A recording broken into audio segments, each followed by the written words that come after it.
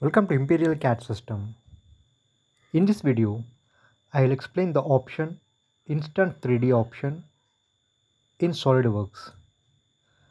To use this option, first create one simple part. I select plane.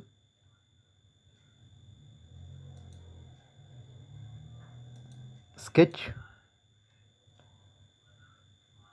Sketch option. Here I create a line.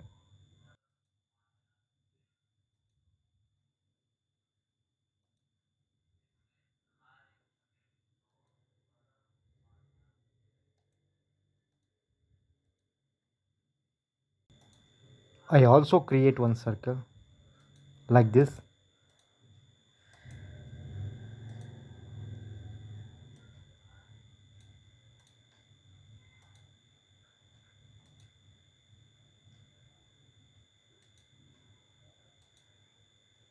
exit.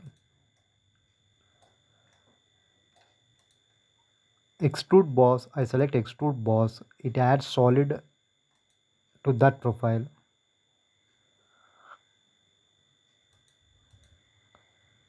I select sketch extrude boss so that we get hole also. I give some value 50 mm the thickness is 50 mm now we got one solid on the screen. Now see when I select I if you want to increase the thickness see I gave 50 uh, to increase the thickness or say suppose if this height is 30 I want to increase this height or this length. Instead of going into sketch can't we create? Instead of going into sketch can't we change directly on the model itself. See when i select the surface nothing appears. You can draw you can't drag like this. But when the instant 3d option is on see i keep this on. Then when you select on the surface now you can see you can see this arrow. Then you just select on that you just drag that. Then you can increase. See like this uh, manually you can increase. Then I want to increase this thickness now. Then I select this. See I drag this. Either decrease or you can increase. This height I want to increase. I select on this surface then I just drag this. See 13.7 to 2 mm there it's showing now like this